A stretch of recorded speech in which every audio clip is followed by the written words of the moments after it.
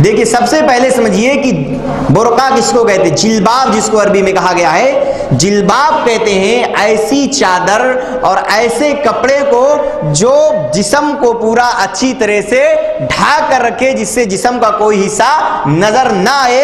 ऐसी चादर और ऐसे कपड़े को जिलबाब कहा जाता है।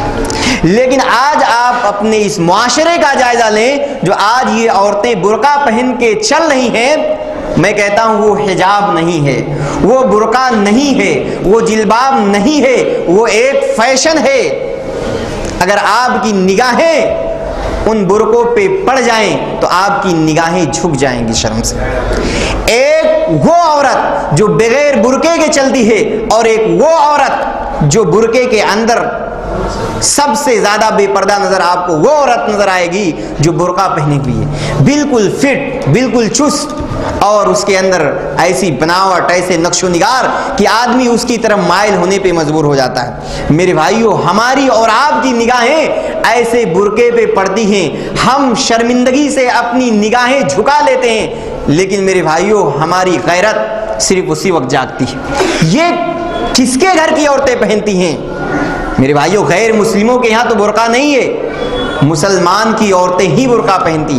हम और आप अपने घर की औरतों को पहनाते हैं। घर के बाहर हमारी निगाह जब पड़ती है तो हमें गैरत आती है। लेकिन मेरे भाइयों, हम अपने घर की औरतों को खुद पहनाते हैं तो उस वक्त हमारी और आपकी गैरत कहाँ चली जाती? है मेरे भाइयों, हम और आप इसके जिम्मेदार हैं। आज जो ये बेहयाई और बेपर्दगी बढ़ती जा रही है इसके जिम्मेदार हम हैं कि हम खुद अपनी बीवियों को, अपनी बहनों को, अपनी माओ को, अपनी बेटियों को ऐसा बुरका, ऐसा जिलबाब, ऐसा नकाब पहनाएँ जो शरीयत ने मुतयन किया है, जो शरई नकाब है।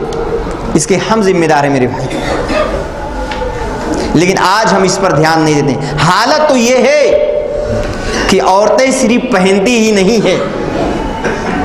बाकायदा जेंट्स टेलरों के पास जा करके उसकी पैमाइश भी करवाती हैं। कितनी बेगैरती की बात है कि एक मुसलमान की औरत ऐसे गैर मोहरी मर्द के पास जाए जो उसके जिस्म की पैमाइश करे और उसके जिस्म पर हाथ लगाए। मेरे भाइयों, इससे बढ़कर और कोई बेगैरती नहीं हो सकती।